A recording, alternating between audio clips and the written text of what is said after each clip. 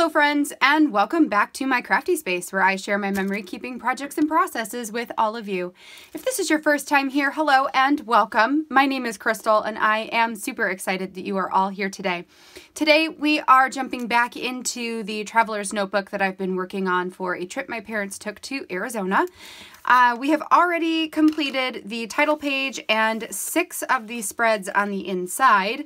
Today we are going to do another three of these spreads.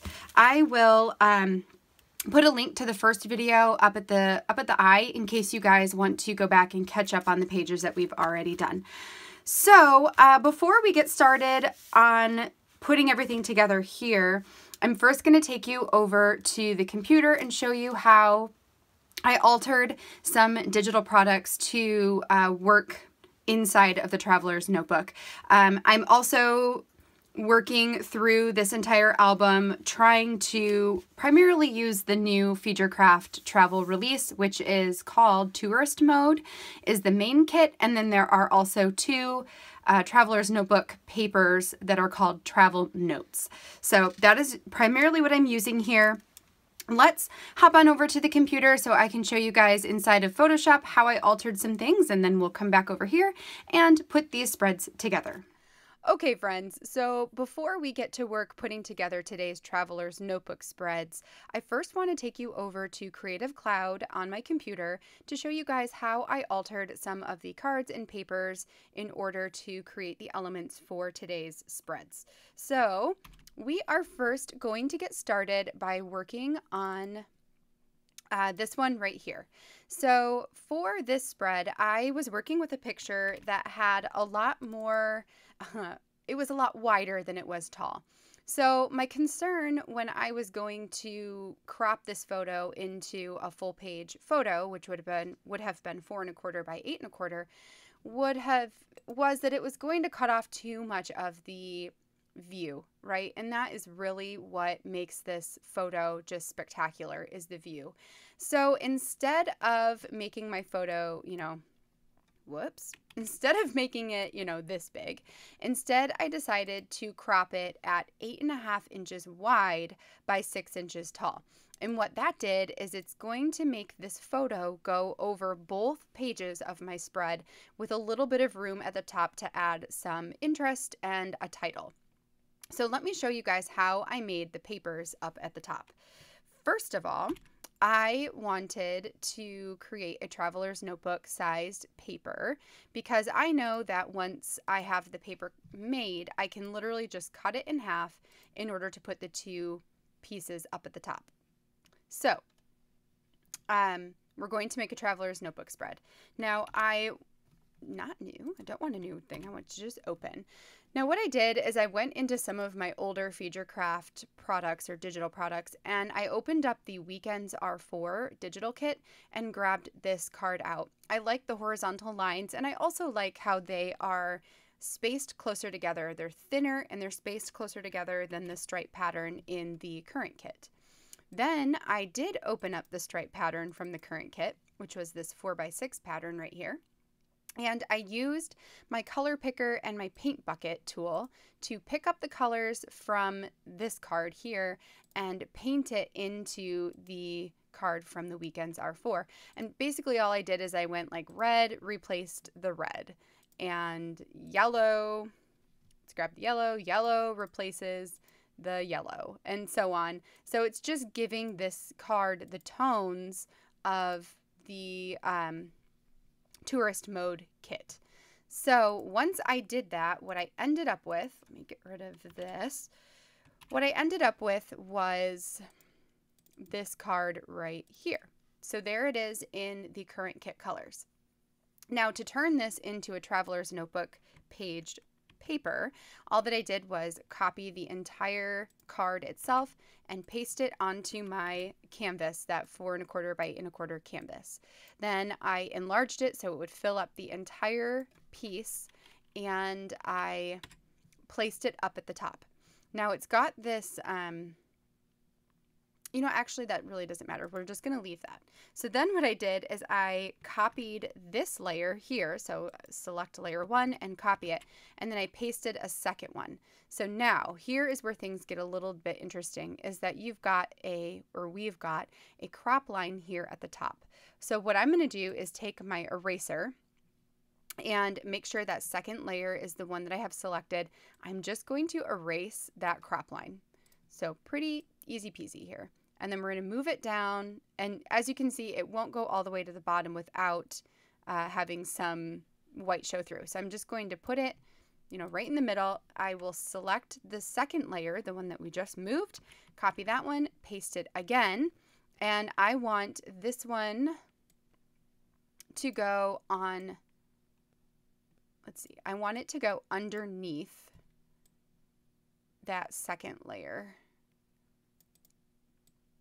right? No, I want it to go on top. So I wanted this layer to be the top, the topmost one.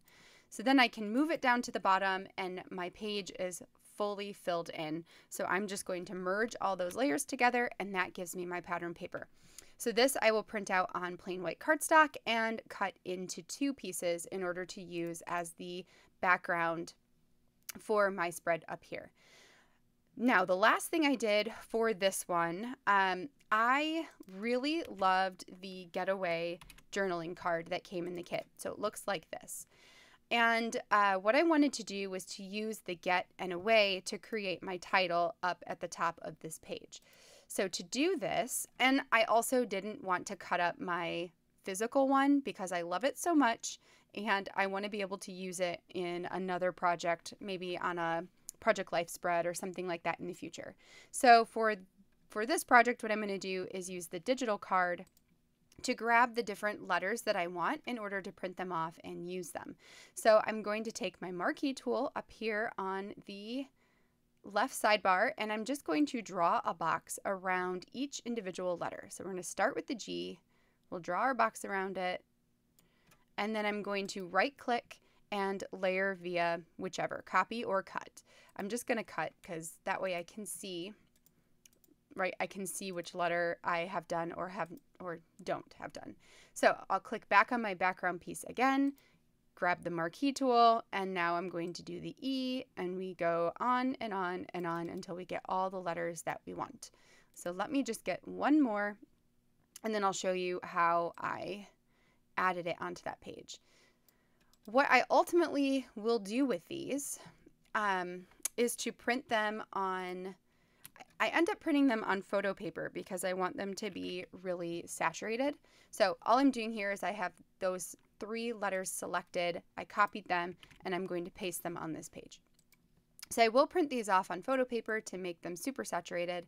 Uh, but something I wanted to point out to you here is when I copied those letters over here, I can already tell that they are going to be too big on this page um, because the, like this one is perfect, but I would not be able to fit four on the other side.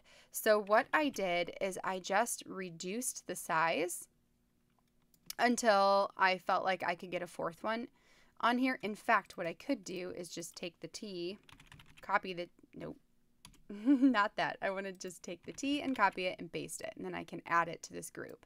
So now I can see what it would look like if I had four letters on here as if I was doing away. And then I can reduce the size down to where I like it. Okay. Unselect or hit enter and unselect it. And I can delete this. Gosh darn it. I can delete this one right here. And now I've got the get. So these I actually made even smaller than those up there, but I just wanted to let to show you that I did end up having to resize the letters in order to have them fit on here really nicely. Um, so I wouldn't have been able to use the physical card anyway. The letters would have been too big. So that is how I got the pieces for this first spread. Also, I am going to add this stamp onto my photo, but I'm going to do that once it's printed. So the stamp right here is in like, it's the same size as what the physical stamp will be. Um, if I did not like the scale of it, I could have enlarged it or made it smaller, whichever, and just printed it straight on my photo. But I want a chance to actually use my stamp set, so I'm going to do that once it is on my desk. Okay, let's move on to the second spread. So this second spread, I drew inspiration from this card right here, which I super love. Like this is also, this is just one of my favorite cards in the whole kit. Um, now this is sized four by six. So if I show it to you at print size, you'll see that those tags are really small. What I wanted to do was to create some kind of tag interactive portion on this page. Originally, I was thinking of doing some kind of like tag book that I could just store in the album. So it's like an album in the album, which sounded kind of fun. Um, but I ultimately decided to just use three of them and resize them to put them on a page with photos on top. So it's going to be like this. Then I'm going to stitch a vellum pocket onto my pattern paper that I will show you guys how I made.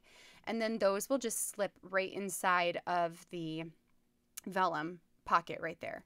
So let me show you how I made the background paper and how I got these tags to look the way they do. Also, before I move on to that, um, the main photo for this page is a full-size photo, so four and a quarter by eight and a quarter.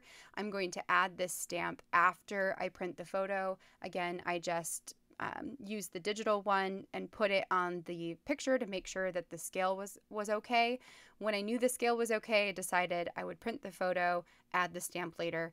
If I had not liked the scale and wanted it bigger, then I could have done that and printed the stamp already on the photo. So Okay, so let's start with let's start with the background paper, which by the way, I did decide to make part of it just like plain blue because I felt like that helped the tags to pop out. If this would have been full stripe the whole time, I felt like they just would have blended in too much. It would have been too busy. So let's do the page first. So I'm going to open up the four and a quarter by eight and a quarter canvas and um, nope, and what I'm going to use to create the stripe at the top is just the 4x6 stripe card. I'm going to rotate it 90 degrees so it's on its side. Then I can select it all and copy it, paste it directly onto my canvas here. And we're going to enlarge it so it fills up the entire space and move it up to the top. So that gives us the stripe portion. Now for the um, let's close out of that. We don't need that anymore. For the blue portion, I knew that I wanted my, actually, I can't remember how far down you are. Right, you're an inch and a half. I wanted this top portion to be an inch and a half uh, wide so that the rest of my photos, so these tags are each six inches long. They're two and a half inches wide by six inches long. And um, I wanted the stripe to begin above those above those tags. So an inch and a half up. So what I did over here is I took a guideline and I dragged it down to an inch and a half.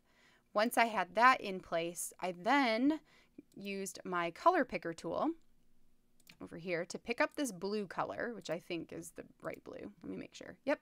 I picked up the blue color and then I grabbed my rectangle tool I made sure that my fill was the blue color that I wanted. My stroke is set to none.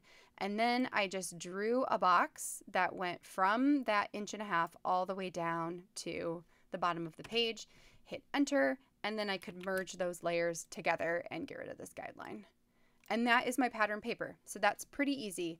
The pad or the vellum pocket I will add once we get over to the table. Now the tags are a little bit trickier. So what I did for these is I used my marquee tool. I started down in the bottom right corner and just dragged a box all the way around that tag shape and then cut it out. So layer via cut and I did this for all three. I did it for one, two, and three. Then once I had those layers all made, I knew I wanted my um, tag shape. It's actually, sorry, it's two and a quarter. I wanted my tag shape to be two and a quarter wide by six inches tall. So I created that canvas on a separate page.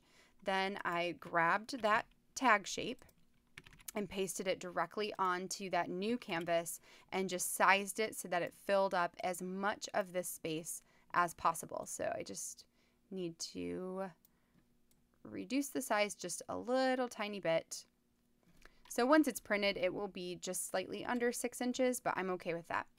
And then that gave me my tag. So my idea for this, and I can actually show you, there it is at print size, right?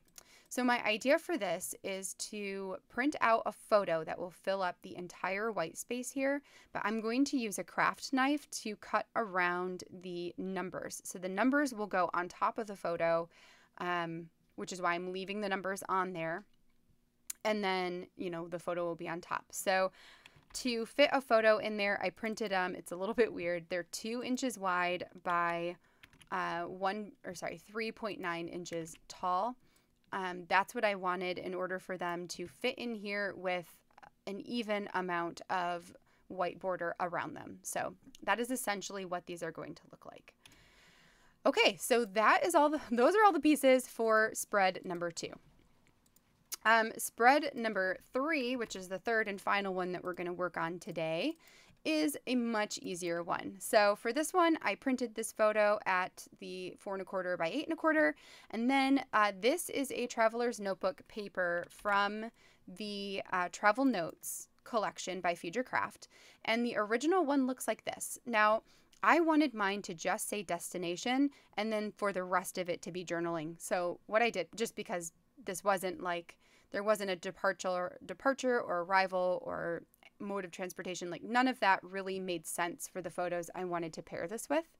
So I grabbed my marquee tool and I'm just going to drag a square from the top of that arrow to somewhere in the middle of the text box. Then I'm going to right click, layer via copy, and drag this up until we are just under the destination bubble there. I will hit enter and merge it all together. And now this is the pattern paper that I will be using for my spread itself. Then the last thing I did was to crop two photos down to an inch and a half wide by two and a half inches tall. I have two of them so that they will fit in here, you know, side by side, let's say, and then we can add journaling up at the top. Okay, so all of the photos for these pages will be printed on photo paper and all of the patterned pages will be printed on plain white cardstock. So I'm going to go ahead and get those elements all printed out and then I will meet you over at the table to assemble these spreads together. Okay, so now we're back at the desk and ready to put this thing together. So the first thing I'll do is take the uh, supplies that I put together out of their little baggie and we'll get started on the first spread. Now I pulled out this journaling card right here. It's from the um, physical kit there and I'm just showing you that that is where the title came from and as you can see right there they are slightly smaller than the uh, tiles on that card itself. So I printed the stripe page there at the full um, four and a half or four and a quarter by eight and a quarter. So then I just cut that thing right in half so I could use half on one side and half on the other.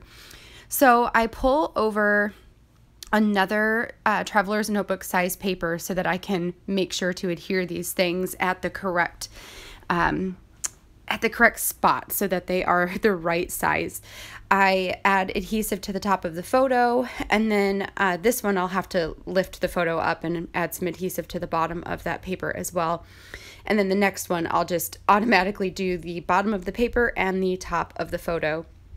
And using that the uh, full size paper underneath, I'll just line it up and stick it all together so that it is, you know, good to go. Once I have that done, the next thing I'm going to do is add my title, which is that the word up there, the getaway word. Um, you know what? Nope, I'm going to stamp first. So I showed you guys the, on the computer how I wanted to add the stamp set that says, um, what does it say? Like, love this view. Um, what it says? Love this view? Something like that. something like that. Anyway, so I want to put that up in the in the blue sky there.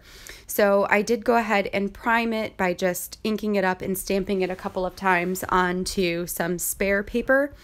And then um, once I am happy with the impression, I inked it up and then put it on the photo there. Oh, you know, it says check out this view. That's that's what it says. So I stamped it on my photo and the impression is not as great as I wanted it to be. So I debated just leaving it there just like that and then ultimately decided to just pull over some um, sticker paper here. This is white matte sticker paper and to stamp the sentiment right on there, uh, cut it out, and then just adhere it onto the photo where my um, where that stamp is over there already. So these I'm just going to fussy cut out and then I will add it to the photo.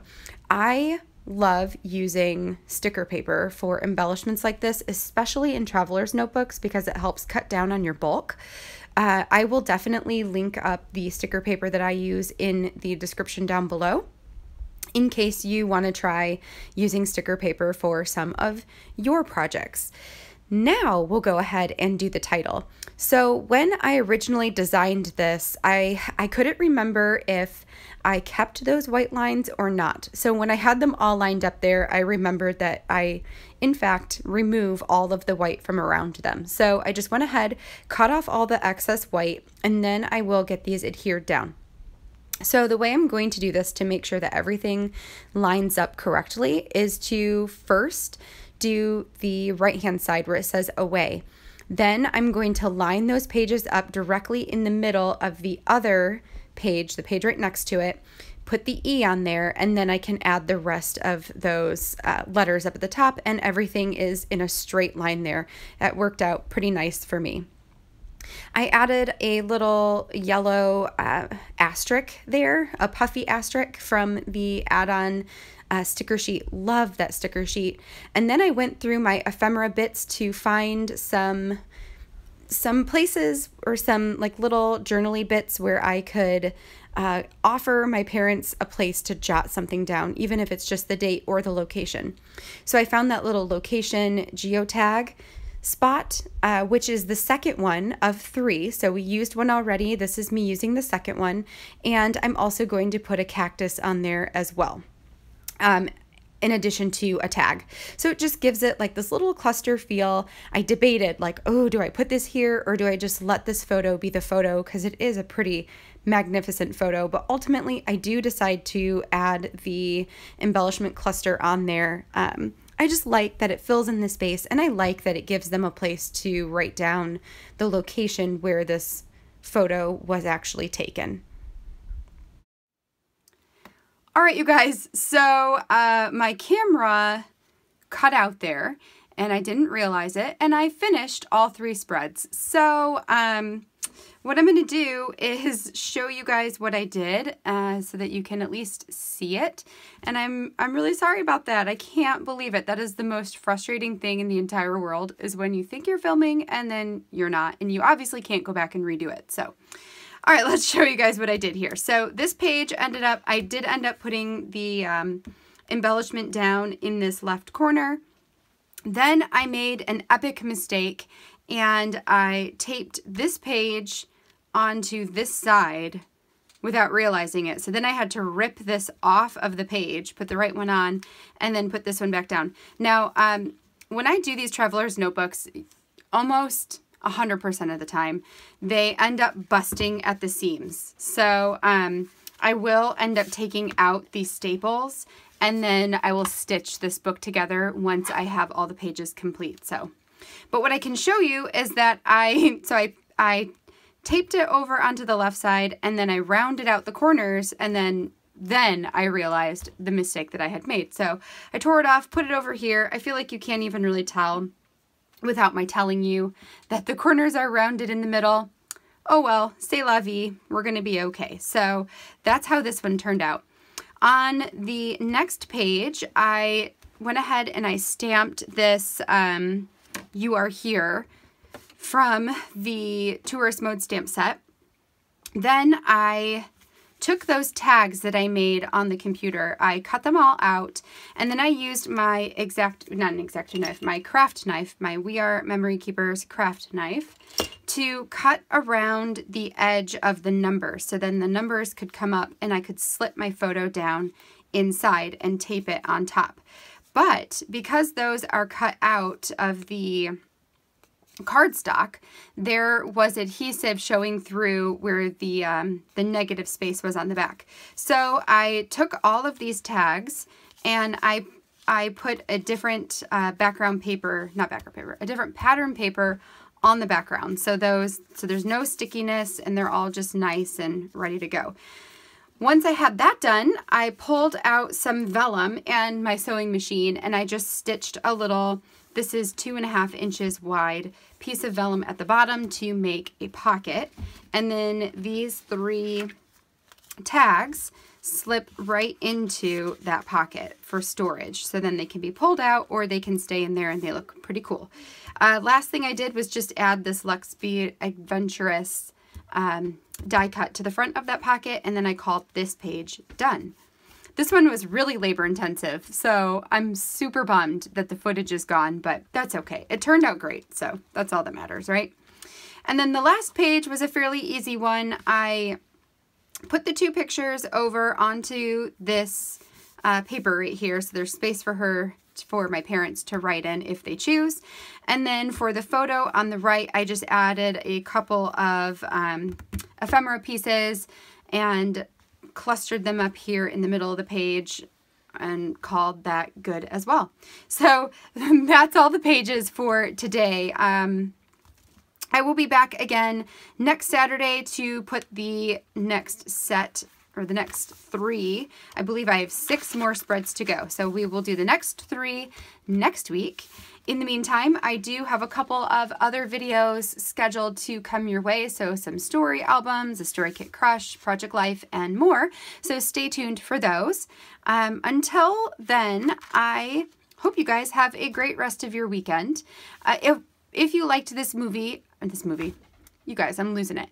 If you liked this video, give it a thumbs up down below and don't forget to hit that subscribe button if you haven't already. Any of the products or the links that I mentioned I will have in that description box down below. And until next time, I hope you guys have a great day. I'll catch you all in the next video. Bye.